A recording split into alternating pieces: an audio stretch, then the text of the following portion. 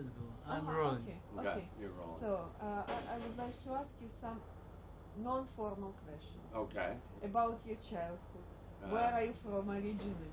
Oh, Who okay. was your parents? Uh-huh. How did you start uh, draw to draw?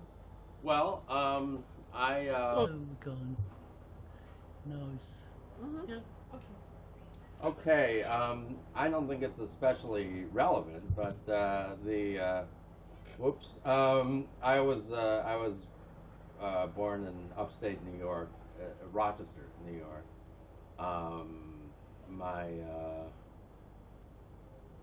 I started drawing and whatnot, uh, I guess early on. I did some films, you know, as a eight-year-old. I did some animated films with uh, crayons and whatnot. You know, um, those were my first cartoons, and um, uh, I'm pretty much what little I can draw, which isn't that much, by the way. Um, I'm pretty much an autodidact. I, I've just taught myself. I never had any formal uh, art training or anything. I went to school here in New York at Columbia University, and uh, then later I went to the American Film Institute uh, in California. A lot of my life is going back and forth between New York and, and California, and working with some really great animators. Um, see, to me, animation, making these films, it's not a to me, it's analogous to a live action type of direction. It's, um, I think of the animators as the actors in a film, and um, if there's any drawing of mine that ends up in the final film, I worry about the film. I don't want to see my drawing on, on film. You know, I want to see people who can can really act uh, as uh, on film. You know, and and some of the best animators I've ever worked with, uh, you know, are now um, working with Disney and Warner's and whatnot. Um, Mark Kausler, uh, who animated the scene for me of uh, Daffy Duck singing like Mel Torme, is uh, a great animator and is working on a great film himself right now uh, about a cat. Um, uh, scored to an old 1930s piece called It's the Cat. And um, I'm looking forward to working with him on that more. Uh, let's see, Doug Compton is a great animator here in New York City. He's really in New Jersey. Um, I've done a lot of stuff with him recently. He did the basic dance step that you see in Blooper Bunny. Um, we started with a if you've seen the picture, it's a um, it's a musical number where, where that the characters keep screwing up in one way or another, and we have to, and it's done like there's outtakes, and uh, we so but the basic dance part was was designed by by Doug and executed by Doug, and the uh, um, bloopers are uh, you know are additions. Um, Nancy Beiman is another great animator that I worked with a lot. Um, I guess the distinction I'm trying to make is that um, the kind of films I like to do are aren't directly personal in the way something like a film by Kathy Rose is directly personal.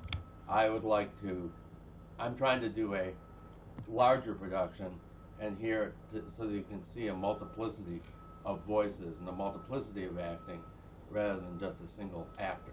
You see what I mean? I like a variety of types of movement and types of designs.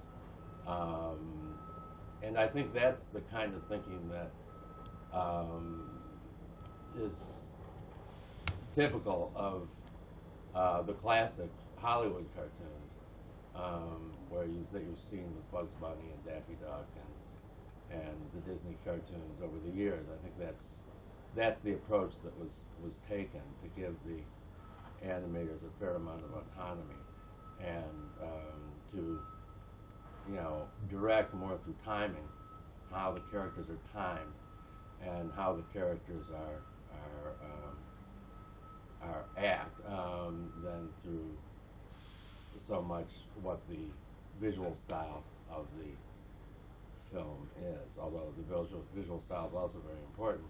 It's it's more of a it's more of a far-ranging thing, and I suppose it's more commercial than uh, you know a George Griffin film or a uh, or a uh, Kathy Rose film.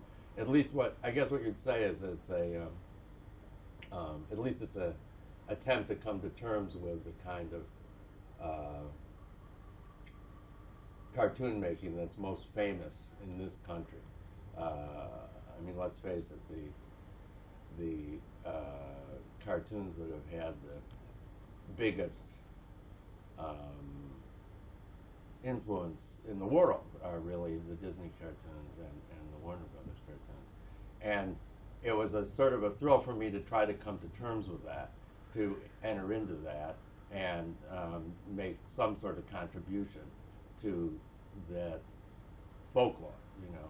But it's it's it's personal to me, and it's also um, goes beyond me. You know, it's not it's not about me. It's about the characters. It's about Bugs Bunny and Daffy Duck and, and what have you. Now, that doesn't mean I don't have strong opinions as to, you know, how where I think the characters should go and what I think the characters should do. I have very strong opinions. In fact, too strong because Warner's uh, doesn't agree with me on most stuff, but uh, um, which is why I left Warner Brothers. But uh, um, in the meantime, uh, I did get away with making, oh, I'd say five or six short films I think are very, very good, you know, and that was more than I thought I could get away with over there. So, um, yeah, I feel good about my association with, with Warner Brothers. Um, and right now, I'm trying to do stuff more independently, uh, uh, working with animators on the East Coast. Um, that's more than you want to know, I should think, Irina. How- It's too much. how do know. you uh, uh, how, how how do you find and uh, uh, how do you create your characters? Well, the way a film starts for me is to, with a story. I come in at it through the story.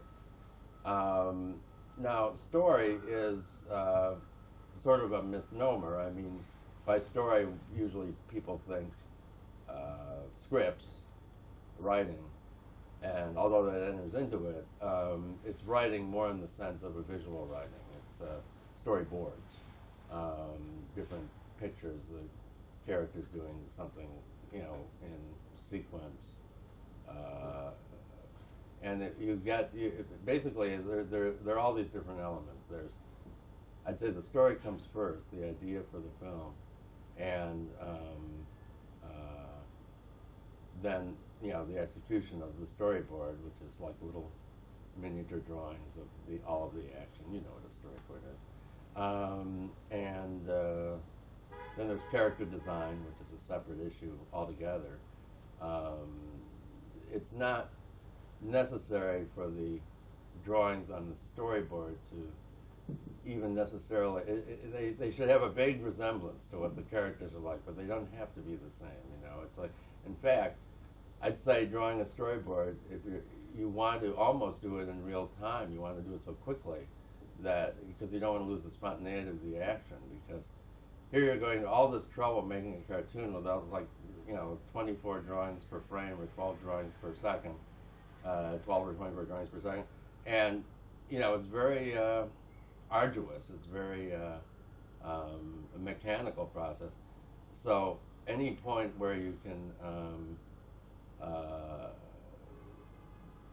recapture that sense of spontaneity. You want to recapture it and that's largely at the beginning. So the storyboards I think should be very loose very loosely drawn very rough. Um, and and then it's sort of up to the layout artists and the animators to reconcile the action that's represented in the storyboard with whatever the design of the character is. One of the great things about the Warner's characters was that they're designed so beautifully. Um, uh, the Warner's characters, as they were developed by people like uh, Chuck Jones and Friz Freleng, is that they were so flexible. They they for me, they had the right combination of, of flexibility and, and character detail. A lot of the designs I see today in commercial animation are actually actually limit the acting. I, I, think if you look at something like um, uh, Prince of Egypt, I find the acting limited because the drawings are over um, over designed. The uh, the characters are over designed, so they they lack flexibility. But I think that's not just true of that film; it's true of a, a great deal of, of films. This is just my personal taste, you know. I mean, um, I I do think that uh, the big studios, in the name of realism, whatever that is, you know, realism, uh, um, have sacrificed a lot recently in terms of uh, just the cartooniness that they used to have. I mean, I'm all for very cartoony cartoons, you know, and um, uh, I think sometimes they are overly conscious of 3D effects, uh, shading on the characters, all these little tchotchkes that don't really add to the character or add to the story or add to the spontaneity. They tend to add to the sense that it looks classy or something, you know, or it's a safe, you know, um, finished-looking product and family-friendly, so they can take their kids.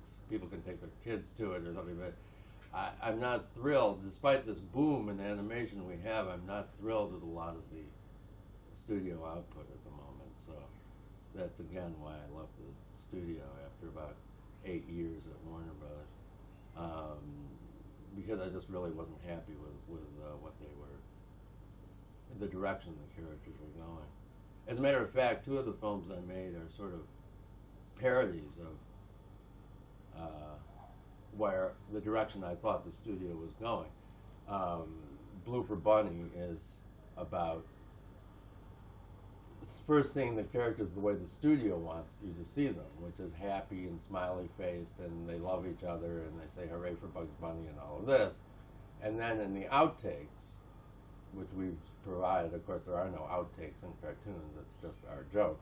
Um, we see that the characters, you know, are competitive and, and mean-spirited and really hate each other the way they should, you know, in a comedy uh, situation, and the way they used to. You know, I mean, the cartoons, the Warner's cartoons used to be based on very strong uh, uh, action, very violent slapstick, you know, and there's been a tendency to get away from that recently because um, the emphasis is on selling the characters as friendly, you know, uh, characters that have spin-off toys and so that you want get your kids, but they're not as funny as they used to be. Is our problem. So, so basically, Blooper Bunny was a satire on the idea of, uh, of uh, you know, how the the you know the, the the characters themselves in the film almost protest their their uh, commodification, their the, the desire of the studio to uh, make them sweet. You know, now they're you know, in Blooper Bunny the outtakes it allows them to be themselves again. Um, the, another one I did. Well, so I'll wait for this to go. Wait. Okay. Uh, do you have the right? Is that the angle you want? Yeah, yeah. He, he's oh, okay. going. He's doing uh, something artistic. Yeah. Yeah, there you are. Okay, very good. Um, yeah, so when I was a kid, uh, my first uh, experience in, in animation was totally self-taught. Um, I think I was seven or eight years old or something, and, and watched some cartoons on, on television, uh, and felt I had to. I think a lot of people have had this experience. Uh, uh, not just me. Uh, felt I had to sort of reinvent the wheel, uh, or that's what I turned out doing because I didn't really know how uh, animated films were made or anything. Um, but I was aware of, you know, film projectors. Had a film projector, an eight, old eight millimeter film projector, not unlike this old 16 millimeter film projector here. And um, you know, so I could see it was frame by frame, and uh, um, I sort of created a fake uh, animation stand, although it was it was uh, it was shot we shot it horizontal, not not vertical. I guess once I tried to shoot it uh, from overhead as well, but um, you know, as long as the camera was on a tripod, it was close enough, you know. But these were very crude, obviously. I was a little kid, but uh, I was pleased enough with uh, the uh, results, you know. So that experience stayed with me. Um, I, I kept on making more of these little eight millimeter uh, films and 16 millimeter films in the, the fifth and sixth grades. And uh, I remember there was this one little piece of my drawing was, was terrible and, and still is bad. Um, that uh, I remember one little piece of animation I did that I actually liked, um, which was a roller coaster. I was probably imitating some cartoon I'd seen or something. I, I don't even know. It was a roller coaster, and I really got the timing right. Where the first car was just going over, and then everything fell uh, as it went over the the hill. And I looked at that and I thought, "Gee, this is this is exciting." Um, so that I felt good about that. The cartoons were called, jeez, um, Mr. Goody's Car Ride was my, my first cartoon, uh, followed by, by Carnival. Um, this character, Mr. Goody, was ba- loosely based on my brother. He had curly hair and uh, and whatnot, um, like my brother. Um, but then, uh, unfortunately for me, I, I stopped uh, drawing uh, um, because I got too mature, supposedly, for it. You know, I was I was a serious student, and uh, um, of course, if I had been really smart, I would have kept uh, drawing and kept uh, working uh, through high school. Um, but I didn't. You know, I, I think I became an English major. I was at Columbia University. Um, I was still deeply into film criticism. I, I wrote a lot on, on movies. I was the first uh, movie reviewer for Rolling Stone, uh, the magazine Rolling Stone. Uh, this was the 60s, uh, you know, crazy druggy period. And um, uh, started to write. I'd never lost my affection for these, these cartoons um, particularly the Warner Brothers cartoons, um, directed by people like Tex Avery, um, Chuck Jones, and uh, Friz Freleng, um, and uh, actually started writing about these films as a historian. Uh, I also mounted retrospectives at uh, museums like the Museum of Modern Art and uh, and whatnot, because this was a period where cartoons were were largely taken for granted uh, and not uh, particularly, uh, no one was particularly encouraged to get into animation. No one considered it a career option. Believe me, it was the times were very different. Um, I think it's amazing when you see. I see now the uh, amount of of animation literacy that's around, uh, even in high schools. Uh, people are so aware of, of, animations and cartoons as, as an art form, uh, or even thinking of it possibly as an art form. None of this stuff was even considered, except by a few of us, you know, just because we like the stuff so much. But um, when I was starting, uh, uh, it wasn't even, the industry was sort of dead anyway in the uh, late 60s or early 70s. It was a dismal period for uh, Hollywood cartoons. So when I mounted these retrospectives at the Museum of Modern Art and the Whitney and whatnot, it was it was almost like we were commemorating a lost form. You know, there there there wasn't uh, uh, cartoons didn't have the vitality that they had previously had. Um, so I was surprised when ultimately I ended up making uh, cartoons um, for studios.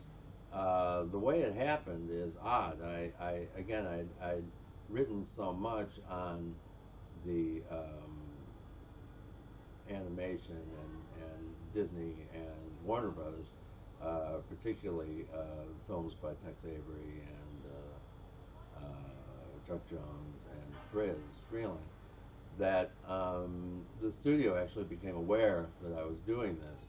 Um, and soon I became a sort of known as an expert on the characters, um, not just what they'd say, what they'd say, or the type of lines they'd have in dialogue, but also how they would move, how they would think, basically their personalities.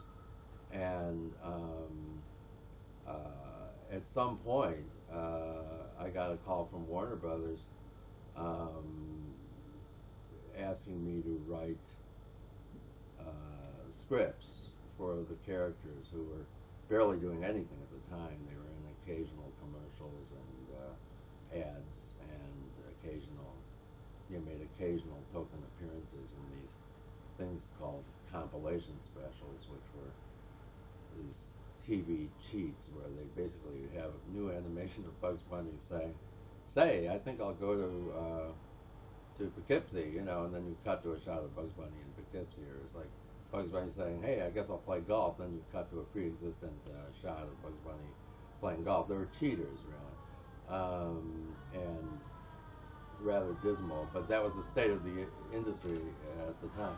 Um, so I ended up writing, and then there was a fire, and everything ended up in flames. Sorry about that. um, the uh, basically, I was recruited by the studio as an expert in the characters, and uh, eventually uh, came to uh, direct uh, the characters. Uh, my drawing, terrible. Um, was it good enough to convey the idea of what's going on? Yeah.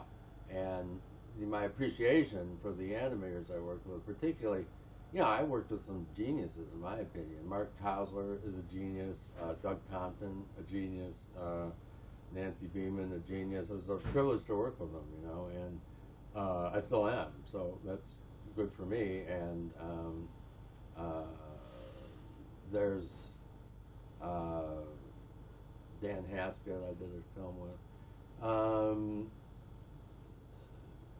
basically, what I do is conceive the projects, write the films, uh, write them visually as well as, as the dialogue, and work with layout artists and uh, um, uh, animators and, uh, and also do the timing.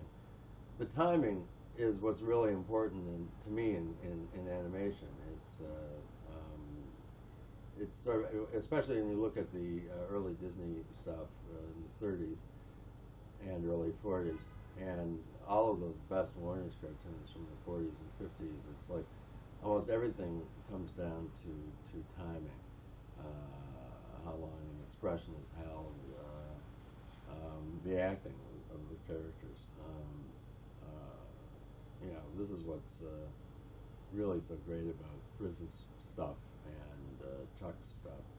Um, the amazing thing about directors like Friz Freleng and Chuck Jones, though, is that they well they came in so early. They came in from in the 20s and 30s.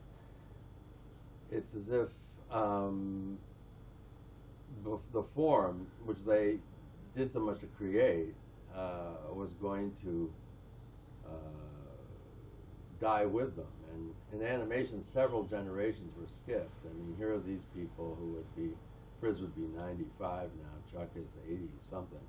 Um, um, it's as if the form was just identified with these people. And uh, I think one of the things I did that was important at Warner's was to uh, bring a different generation into it. Uh, when we made The Duxorcist, which was the first short subject um, that the studio had made, the first Looney Tune the studio had made in about 20 years, um, we had a, such a generational mix on the film. You know, there'd be someone who was 80 years old sitting next to someone who was uh, like 16 years old.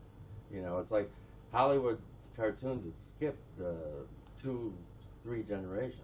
Um, and uh, I was happy to get the characters uh, back on the big screen again because these characters are really theatrical short subject characters and uh, they work best that way. They don't work as well in features or anything else. It's, they're really ideal for seven minutes of uh, action. You know? um, anyway, Yeah. what else? Fin- financial. What? financial. Oh, financial. Yeah, well, um, thinking about the budgets for these pictures, um, it's very hard to get a sense of what the budget of any film at a studio really is, because uh, the budgets on what's Warner Brothers trying to stop me from saying this. Um, the uh, Warner's uh, probably wouldn't want me to say this, but the, the fact of the matter is that budgets in uh, in studio films are largely fictional things. You know, it's very difficult to find out how much, even when you're making the film, how much anything actually costs because so much overhead, studio overhead is added, and fictional costs are, are piled on. Um, uh, so I think Blooper Bunny on paper was might have been half a million dollars, um, maybe not that much, uh, but a lot of money. Uh, the actual cost was probably closer to a hundred thousand dollars. Um, I recently made a film with using an old uh, Nixon, Richard Nixon campaign song, and it was just a homemade little film. But it was a shock to me to make a homemade film again because, you know, the budget for that was three hundred dollars. You know, three hundred, and it struck me amazing how much of the cost in studio films is is obviously added on and obviously uh, fictional. You know, it's for people to keep their employees paid and keep you know keep the executives making big salaries and uh, and whatnot. Um, so. Um, yeah, the other stuff I've done since Warner's, in fact, is, is are, are really economy things. But I found you can use the same techniques uh, that you use with the studio animation well. You know, it's it's easy. Uh, um, basically, the importance of the timing again, the importance of the story, the storyboard. Um, all the components are the same, uh, no matter what the budget is for me. Um, Are you making commercial?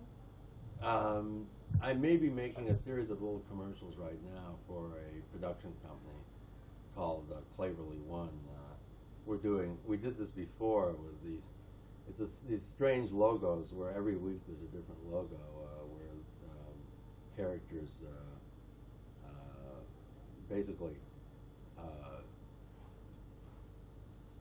uh, die. You know, there's these alternate death scenarios for each for each one, and they're very they're they're a challenge. The first ones we did were a challenge because they were is trying to get things to read in two seconds. You know, getting action to read in two seconds is hard. You know, because two seconds isn't a very long time. Um, so uh, the first series we did was was these these little silhouette characters drowning. You know, in one way or another, they're either attacked by a squid or they're attacked by um, you know sharks or they sink like Buster Keaton does in uh, the boat, um, or any number of other things. Uh, right now, we're going to be doing a series that's similar with astronauts uh, uh, getting into trouble in one way or another. Also dying. Also, dying, right, or something. Uh, I think we're going to do what it's going to be. We're, I'm not sure yet, but what it's going to be is, is, you know, we're actually going to use that sound, you know, of, of, of Neil Armstrong. It's like that's one small step for a man, you know, but each time he puts his foot down, something new happens. Like the first time he says he slips on a banana peel or something. Like there's a banana peel in space, or he he walks off the capsule and goes into quicksand, or he uh, um, uh, you know, or the, the other astronaut like blows into his tube and he inflates into a balloon. You know, anything that reads very simply in two seconds. But I don't know why, but it's uh, it's it's fun to do these things reading in, in two seconds because it's like if you can get it to read it all, it's it's an achievement. And, and uh, this TV. advertising for funeral company? No, no, no. It's it's it's it's a production company by these two writers who feel they're misused by the studio, so they want to picture themselves as as as dying uh, a horrible death each week. Um, it's it's a sardonic uh, approach to a uh, corporate logo. Um, what what else have I done? Uh, you know, other independent things I've done. I've done like logos for uh, Comedy Central. Again, uh, many of the same animators. Uh, Doug Compton, again, a great animator, uh, one of the greatest. East Coast, thank God, a great East Coast animator. Um, wonderful. There we did the the we base the again the design is something you do the board and then the design is something totally other that you, you construct and and um, because you don't want to lose the spontaneity drawing the board. That's where you get your gags, you see. So if you start fretting about how the the, the characters are designed when you're drawing the board, uh, you lose the feel of the action of things happening fast, you know. So it's best that you go to the boards really fast, um, and then the design is something else. So the design on these elephants is based on uh, Edward Nast, the uh, elephants and donkeys, you know, the standard Democrat, Republican elephants and donkeys.